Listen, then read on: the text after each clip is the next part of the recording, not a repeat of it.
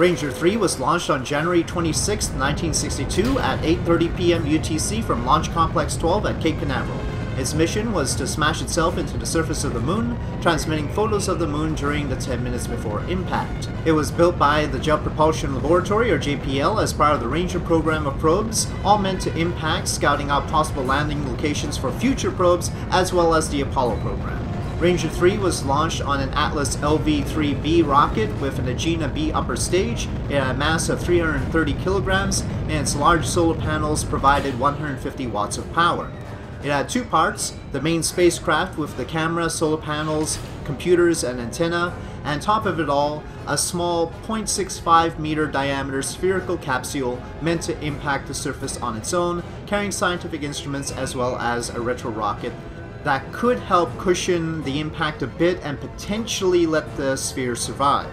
The main spacecraft also had mid-course correction thrusters.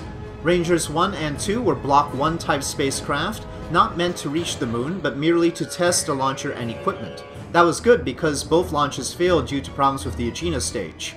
Ranger 3 was the first Block 2 type, and it was aimed at the moon, but missed, passing by the moon at a distance of 36,874 kilometers. The first problem was that the Atlas guidance system stopped functioning 49 seconds after launch, and while backup program commands could jettison the boosters and start the Agena, the flight path was not being corrected, and the cutoff of the core LV-105 engine left the Agena both higher and faster than it should have been at Agena ignition. Orbit was achieved and the Agena restarted as planned, but another guidance error put it on its high pass over the moon instead of the impact trajectory. Worse, it did not orient properly, so it ran out of power before a mid-course correction could be accomplished. Nevertheless, this was the first launch into the lunar sphere of influence since Luna 3 in 1959, a gap of over two years. It was also the beginning of the road to landing astronauts on the moon by the end of the decade, a goal President John F. Kennedy set in his address before Congress seven months before this launch on May 25, 1961.